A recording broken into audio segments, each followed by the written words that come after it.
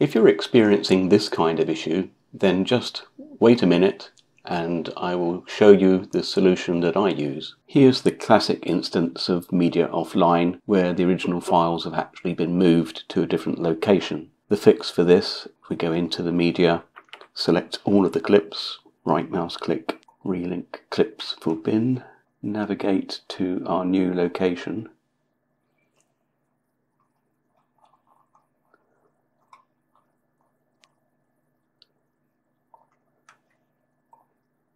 and it's now located all of the files again so we are good to go back to our editing and continue. A simple fix for media offline.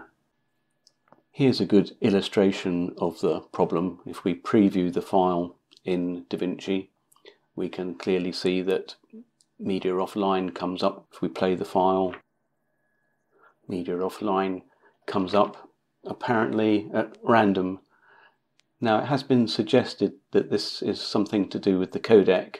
If we look at the properties of the file, it's um, H.264.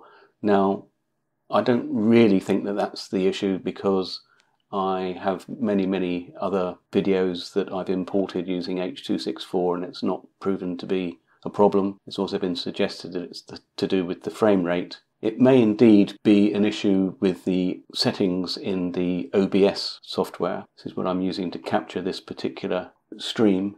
If we look at the settings for the video, I've set it to 59.94 frames per second and the output is using the software codec rather than the hardware codec.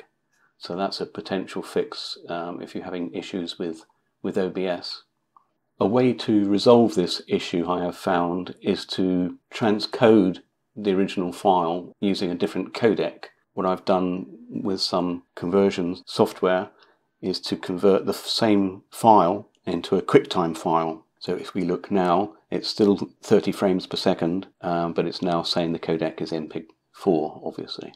If we remove that file and import the new one, we can see here in the in the preview media offline just doesn't doesn't happen anymore. If we play the file through similarly um, there's no media offline issue. So there you have it a fix that will hopefully get you out of a sticky situation